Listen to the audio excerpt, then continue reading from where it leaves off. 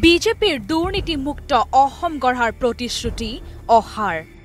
আমি আজি দেখুৱাম বিজেপিৰ দুৰ্নীতিমুক্ত অসম গঢ়াৰ শ্লোগানৰ বিপৰীতে প্ৰকৃততে কৰা কামৰ নমুনা।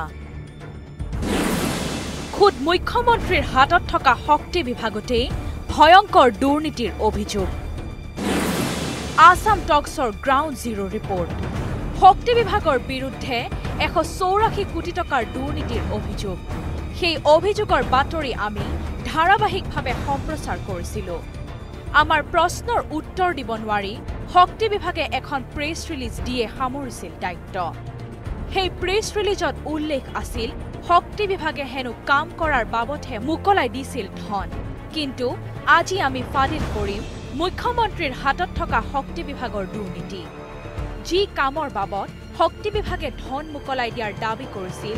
সেই কামৰ নমুনা দেখিলে আপুনিও মূৰে কপালে হাত দিব। প্ৰথমে শুনক স্থানীয় ৰাইজৰ এই মন্তব্য। বুলি ক'লে লাইনৰ আমাৰ ইয়াত ঢেৰ প্ৰব্লেম অলপ বৰষুণ দিলেই লাইন নাথাকে অলপ বতাহ মাৰোঁতে প্ৰব্লেম নাথাকে। আৰু যিটো আমাৰ চতিয়া বিদ্যুৎ উপসংমণ্ডলৰ অধীনত যিখিনি কাম হৈ আছিলে সম্পূৰ্ণ কামটোক ভেকু ভাওনা হৈছে। যিমানখিনি কাম আহিছিলে তাৰ আধাখিনি ক'ৰবাত অলপ কৰিছে।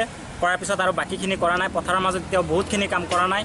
আপোনাৰ ফিফটি পাৰ্চেণ্টতকৈ বেছি কাম ইহঁতে কৰা নাই। বাকীখিনি কাম ইহঁতে অলপ অলপ ক'ৰবাত ক'ৰবাত কৰিছে যদিও অঁ কৰি বাকীখিনি পইচা সিহঁতে উঠাই লৈ গুচি গ'ল।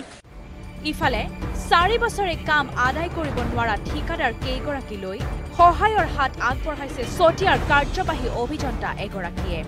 আনহাতে পাভৈৰ পৰা চতিয়ালৈ বিতৰণ হোৱা এই বিদ্যুতৰ তাঁৰসমূহৰ কাম আধাতেই সামৰি থোৱাৰ পিছতো এন অ' চি মোকলাই দিছিল চতিয়াৰ এইগৰাকী এছ ডি অ'য়ে। এই অভিযোগৰ পিছতেই প্ৰশ্ন উত্থাপন হৈছে এছ ডি অ'গৰাকীৰ বিৰুদ্ধে।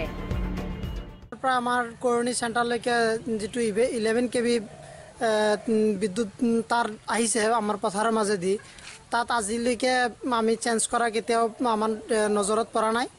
আৰু এইটো পৰা নাই মই শুনিছোঁ।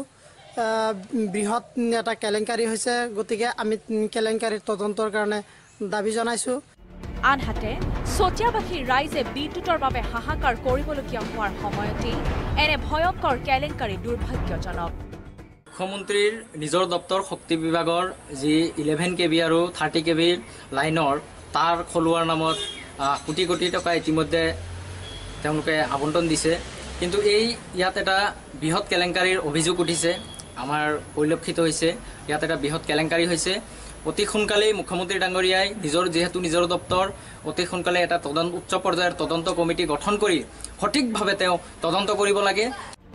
এতিয়া প্ৰশ্ন উত্থাপন হৈছে খোদ মুখ্যমন্ত্ৰীৰ হাতত থকা এই শক্তি বিভাগৰ বিৰুদ্ধে উঠা দুৰ্নীতিৰ তদন্ত কৰিবনে মুখ্যমন্ত্ৰীয়ে? ইলেভেন কে ভি লাইন আৰু এল টি লাইনসমূহৰ ঠিকা লোৱা এই ঠিকাদাৰী প্ৰতিষ্ঠান কেইটাক কাৰ আশীষৰ বাবে মোকলাই দিলে অসম্পূৰ্ণ কামৰ ধন। এয়া এক কোটিটকীয়া প্ৰশ্ন। শক্তি বিভাগৰ এনে দুৰ্নীতিৰ তথ্য আমি ফাদিল কৰিম পৰৱৰ্তী প্ৰতিবেদনত। চতিয়াৰ পৰা অঞ্চল শইকীয়া আৰু বিশ্বনাথৰ পৰা আমিৰ খান ৰিপৰ্ট টক্স।